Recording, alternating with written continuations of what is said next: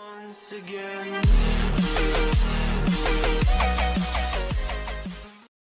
Hello, it's Jimmy here at O'Rileys and I've come to look at a Ford Transit. Now we'll get inside and do a bit of explaining. So I've got the vehicle running here, the engine management lights on. Now, I'm going to answer the questions here for, we'll put the title to this video on what the problem is he's having. So he's had a mechanic out here, um, obviously not showing you who it was because don't like putting people's names on stuff. But anyway, they've done diagnostics, DPF codes were found. They can't fix the problem. Now, forced regenerations uh, were, tried on this, and they failed. So the answer, the question is, why is it failing? Why is it failing forced regenerations? Um, we'll answer that question. Let's put the diagnostics down in front of you. I've got the launch Euro Tab 2 here, and let's see what codes we have.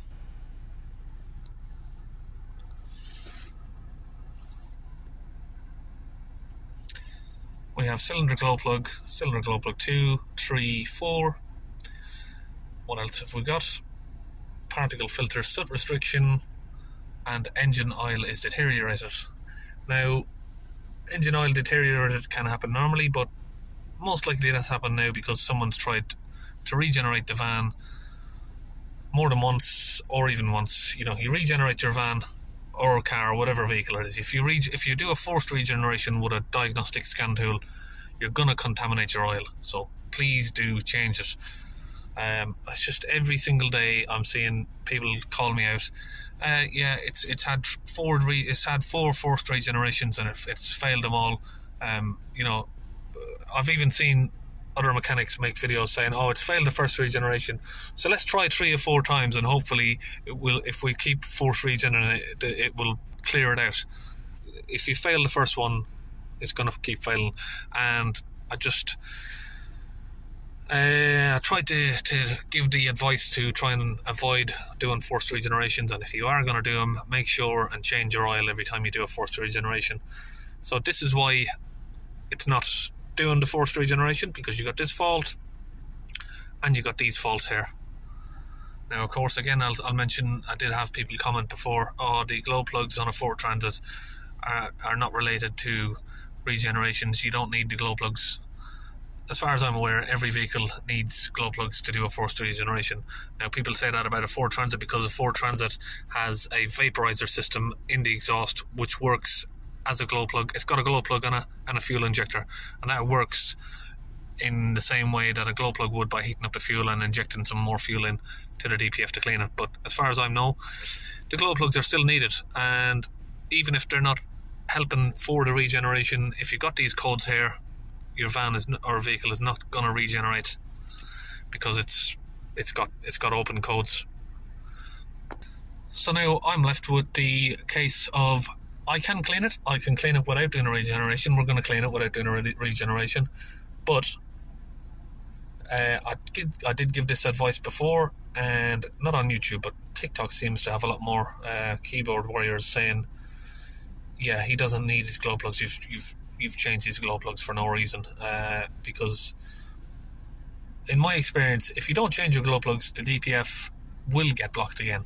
And I've I've had it in the past I've been to to vans where the guy is saying, "Look, I've had it cleaned and it was working. It's perfect for two weeks. Now it's blocked again." And you go inside and you got the glow plugs. I'll repair these glow plugs, clean the DPF, and guess what? The problem don't ever come back. So what we're going to do is clean the DPF today. I didn't realize I was coming here for glow plugs because the only code I was told it's got is P2463. Now it doesn't just have that, of course it has this as well and the customer was told none of this is related and it doesn't need fixing, but it do.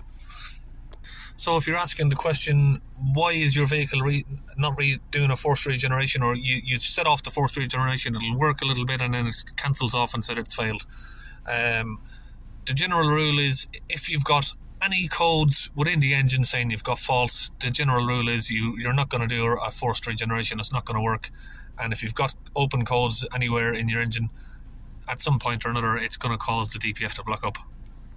So get all of these engine codes fixed, and then your DPF should work normally. So the reason we're going to do now, we're going to clean the DPF because we are going to come back once we've got the glow plugs in stock. We're going to come back and change these before the DPF gets blocked again. Right, so let's get along with the repair. We'll go into the data stream and show you what we're doing. So go to differential pressure. Now, of course, this wasn't checked either by the previous mechanic.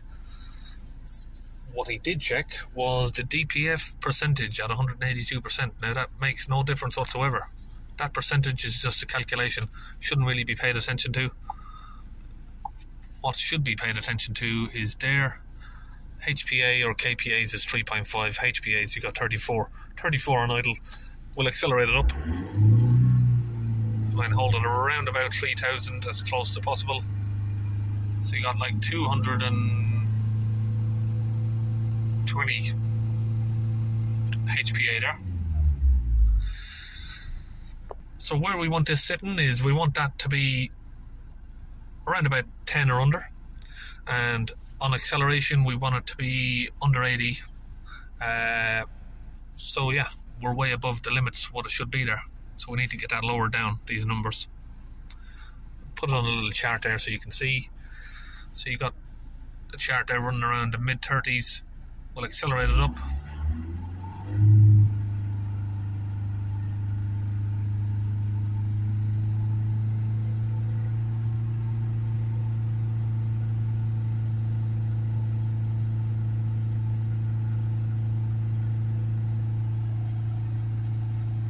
that's where we're sitting around. So we're going to clean the DPF and then we'll look at these figures afterwards.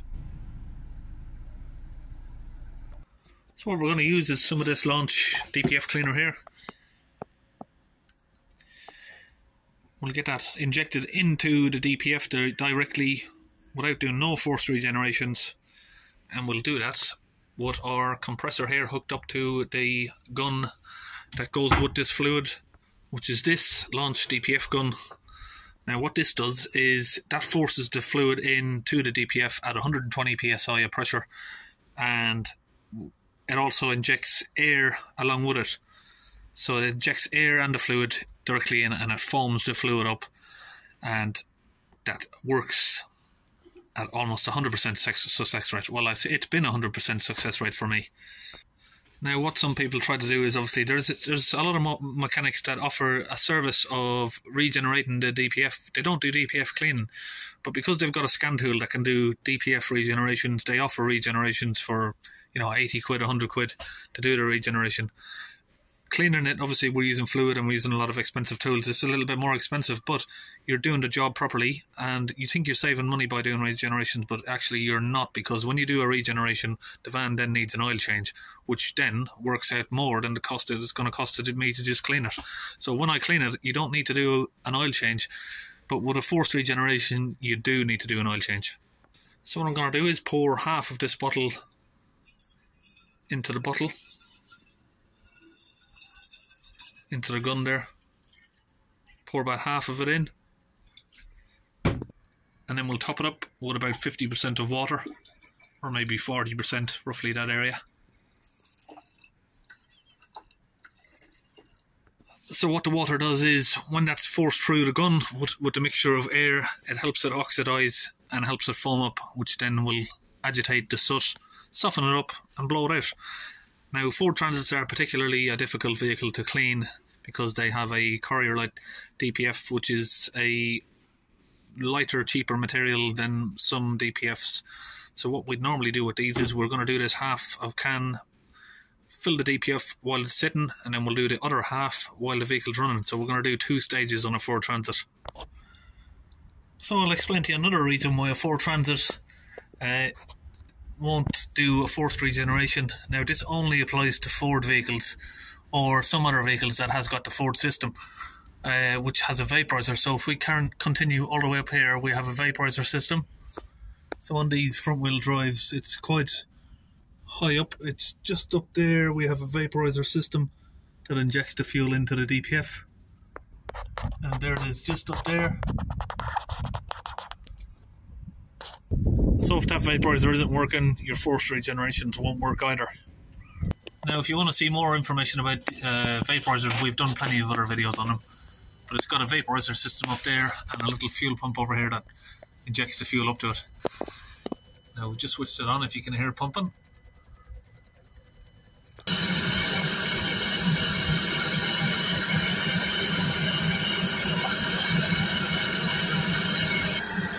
What I'm doing here is heating up the vaporizer because it's seized on, it won't open. So I'm going to put some heat on it, try and get it open. Sorry about that, we've got a quite an, an annoying alarm going off over there. But we've got the uh, DPF vaporizer now cleared out. We've got that connected onto it there. And there's no pressure, which is how it should be that is a Medivac pressure gauge there I'm testing it with. So now we've got the vaporizer cleaned out, we're going to do a vaporizer prime. Again, that same thing that we done earlier where we showed you the fuel pump ticking. And we'll get a little timer there come up like that. And you'll hear the fuel pump ticking. And if you've got the vaporizer open, you should see some fuel dripping out of it. We've got the vaporizer on now. And how we can show you, you can test it without removing it is once this is finished ticking, if we start the vehicle up, we should see some slight smoking coming from the exhaust. So how I've cleared out that vaporizer, I couldn't get the vaporizer removed, it seized on. So what I've done was connected this uh, DPF gun, it's 120 psi pressure comes out of this, connected that to the fuel line, and I've had the heat gun on it to get it hot, blowed the pressure through it, and it's cleared it through. So I've managed to clean it without removing the vaporizer.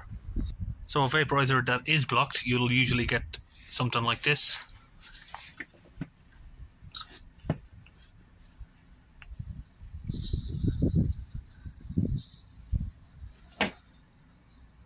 And a vaporizer that isn't blocked, you shouldn't get any pressure whatsoever when you're moving it. Now that's finished, we'll just start the engine. We'll uh, give it a few revs and now the engine temperature must be up to the operating temperature there. Now what you should see there is a little misting of smoke. I'm not sure if you can see it camera.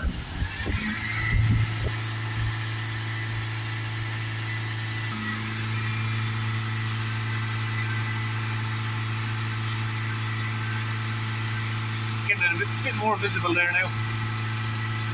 So you can see the first time we tried that, that didn't do that, so that's why we cleaned out the vaporizer. Now we know the vaporizer is working. We're getting the misting of vapor there coming out. So now the vehicle is up to temperature. I probably mentioned it before with these Ford Transits. Once they get reach operating temperature, let me just see if I can. These are quite sensitive. They do increase. The pressure does increase slightly once it's uh, up to operating temperature. So if we, the, the van is in restricted revs at the minute, so it won't pass 3,000.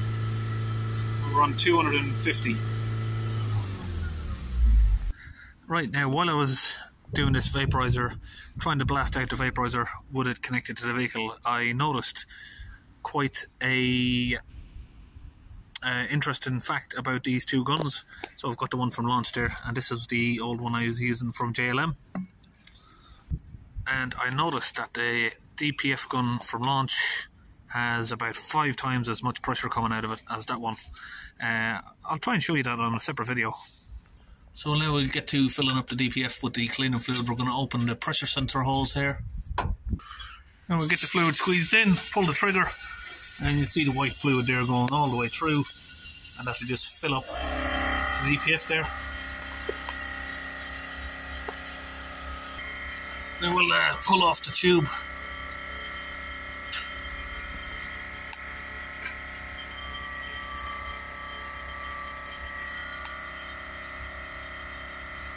Let that settle down. And then connect back up the tube there. Now we'll get the van lowered down there. And we'll let that fluid sit there for around about 10 minutes and I've actually gone a bit ahead of myself there because uh, I'm going to do two doses on this, I forgot. So we'll get the van raised back up, ready for the second dose after this is done. So we're going to see how it goes now with the fluid in there and we'll see if it needs a second dose. If it doesn't need a second dose, we won't do it. If it does, we'll, we'll do the second dose. You can just see the pressure there dropping while we're holding the revs 3000.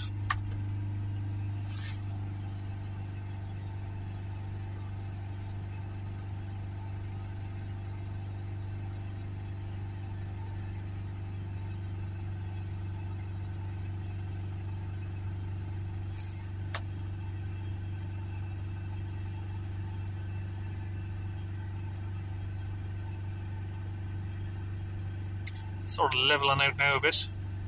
That'll keep coming down.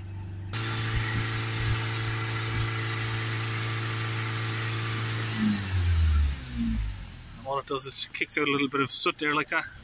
Bit of foam, that just dries up. You know when you get in one of these vans where you don't even like accelerating it because it just sounds like a bag of nails.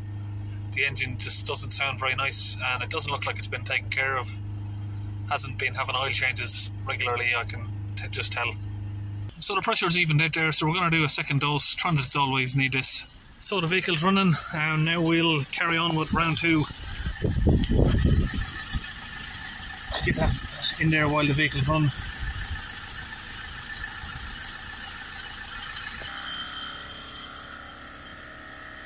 You'll see the fluid now turning the cleaner colour. So now we're going to switch the engine off, let the fluid sit a little bit, and we'll go to the power control modules. Actually, before we do that, let's just go back data stream. Uh, D is in under DPF system percentage. Let's have a look at the system percentage. What he said it was at, and I'll tell you something about this.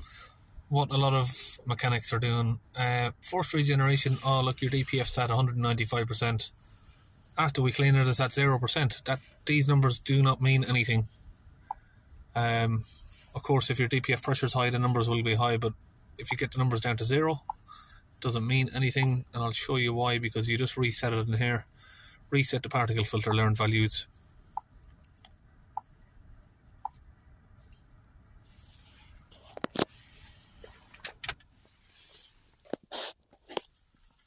Now that's done switch the ignition off, go back. Now, if we go back to the data stream, DPF, 0%. So we've just fixed the DPF without doing anything. Now, if you do that without cleaning your DPF, your percentages are at zero but they'll quickly rise back up after 20 minutes, half an hour of driving. You'll go back to 200%. So what that does by allowing resetting that to zero, it will allow you to then clear the fault codes. If you clear the fault codes without resetting the DPF values, uh, give it a minute or two, or sometimes almost instantly, you just recheck the codes and the codes are back. So now you can see we have no DTCs in the next two days, we're going to do an oil change and glow plugs on this, as long as the customer does what he's promised and calls us back to do that. Now you can start the vehicle up and you won't have any codes on it. So if we go back to the retrieve the codes now, should have the oil one back. Oil deteriorated. So what you're going to do for that is switch the ignition off hold your foot on the brake and accelerator at the same time, turn the ignition on, wait for about 15 seconds, and then it'll reset. After that's been done, you can then clear the code. Now we are changing the oil, so that's the only reason we're doing this. And then you'll notice after the engine's running, we can go back and check the codes, and that oil deterioration code should be now gone. Now we have idle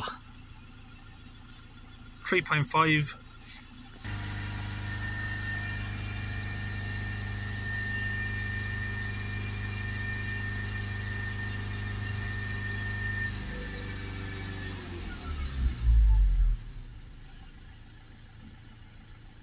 So that's going to keep coming down as you can see there.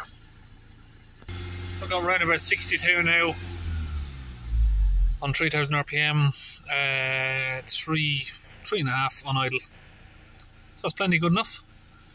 That will lower down even more once the fluid has done its job complete. We've been running the vehicle for a few minutes. Okay, that's it. We're all finished on the transit and we'll see you on our next video.